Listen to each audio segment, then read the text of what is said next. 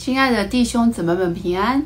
今天我们要来看的经文是《列王记下》的十四章十七到二十九节。这段经文记录了犹大和以色列历史中几位王的事迹。透过这段经文，我们将看到神的主权与怜悯。求神帮助我们，给我们智慧，学习如何在我们的生活中应用这些属灵的真理。那接下来就让我们一起来读经文，《列王记下》的十四章十七到二十九节。以色列王约哈斯的儿子约阿斯死后，犹大王约阿斯的儿子亚玛谢又活了十五年。亚玛谢其余的事都写在犹大列王记上。耶路撒冷有人背叛亚玛谢，他就逃到拉杰，叛党却打发人到拉杰将他杀了。人就用马将他的尸首驮到耶路撒冷，葬在大卫城他列祖的坟地里。犹大众民立亚玛谢的儿子亚撒利亚，又名乌西亚，接续他父作王。那时他年十六岁。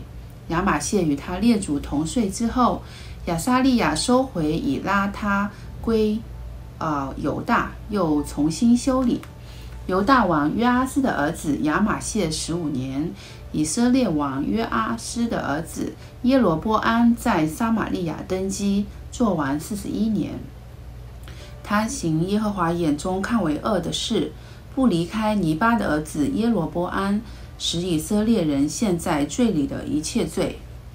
他收回以色列边界之地，从哈马口直到亚拉巴海，正如耶和华以色列的神借他仆人。加特西佛人亚米泰的儿子先知约拿所说的，因为耶和华看见以色列人甚是痛苦，无论困住的、自由的都没有了，也无人帮助以色列。耶和华并没有说要将以色列的民从天下陀母、陀抹，乃将约阿斯的儿子耶罗波安拯救他们。耶罗波安其余的事。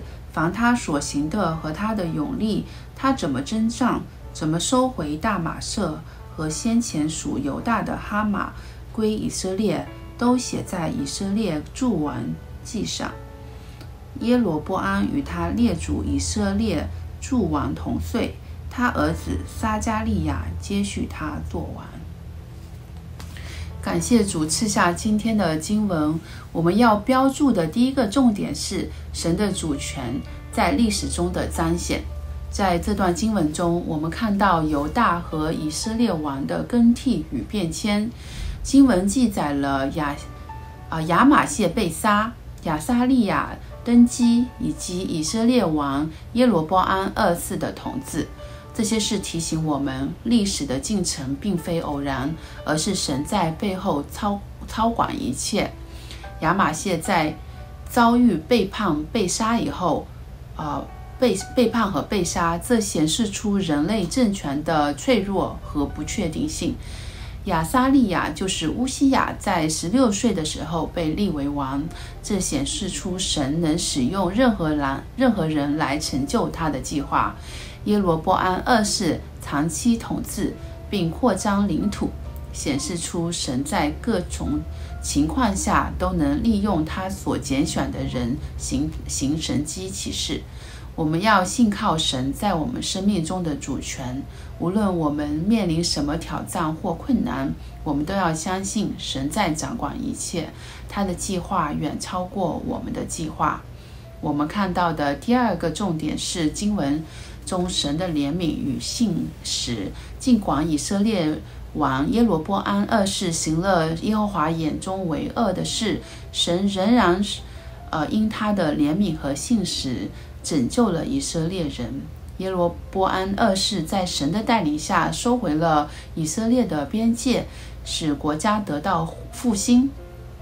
神看见以色列人的艰苦，并拯救他们。这显示出神的怜悯。神借着先知约拿的预言实现了他的计划，显示出了神的信实。感谢神的怜悯，即使我们犯了错，神依然愿意赦免我们，给我们新的机会。我们应当常常感恩，并以此激励我们自己，活出合神心意的生活。最后，面对神的主权和怜悯，我们应该如何回应呢？首先，我们要信靠神的主权，在我们的生活中，无论遭遇什么样的困难或挑战，我们都要相信神在掌管一切，他的计划远超过我们的计划。我们要学习依靠他的引导，不是依靠自己的血气行事。我们也要常常感恩神的慈爱和怜悯，感谢神在我们生命中的恩典。即使我们常常软弱，从羊群中走丢，他依然义无义无反顾地来寻找我们，赦免我们的罪，像慈爱的父亲拥抱我们，重新建立我们，给我们新的机会。我们需要每天都分别出和神交通的时间，回应神给我们的爱。最后也是最困难的，我们要放下自己的血气，顺服神的旨意。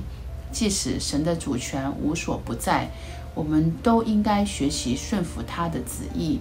无论是个人的选择，是面对挑战时的决定，都要寻求神的心意，遵行他的道路。